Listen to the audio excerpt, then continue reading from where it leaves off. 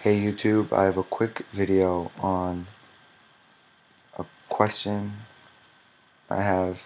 I've been searching it up on Google, on Bing, on everything, and I still can't find out how to do it. I need to know how to make an announcement on a Minecraft server because I deleted my world and then I forgot to back it up and I have to tell the people that, are, that play my server. And so I already know how to oops. I already know how to do this.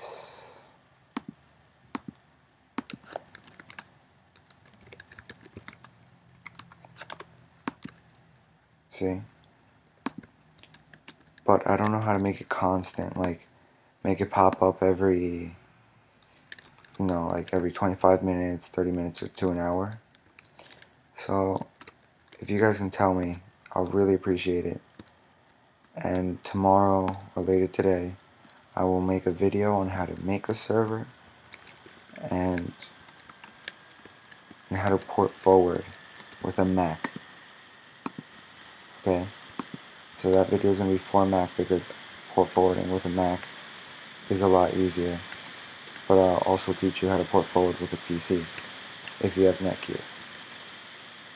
Uh, so just saying, port forwarding with a Mac is so much easier because you can use this program called Port uh, Port Mac, Port Map, and that'll get over that big problem that people always have. I've had it too. So if if anyone that is a host for a server could tell me how to make a constant announcement every like 30 minutes, I'll really appreciate it. And It'll help a lot.